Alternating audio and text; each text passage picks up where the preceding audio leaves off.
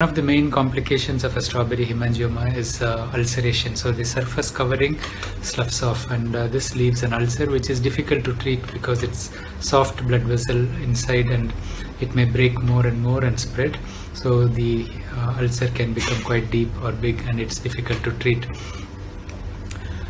if uh, it is in certain locations of the body where it can interfere with function like over the eyelid over the nostril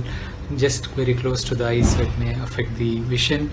or in the genital area where because it's a moist area frequently we uh, wipe the area for nappy change. So this can lead to uh, ulceration the risk of ulceration is high or if it's a very large lesion we may consider treating it. In other cases we just monitor it as i said and usually it disappears by uh, one to two years of age it fades away. Sometimes a faint mark may stay till the child is older but majority of the time it doesn't grow beyond one year of age and it starts regressing by that stage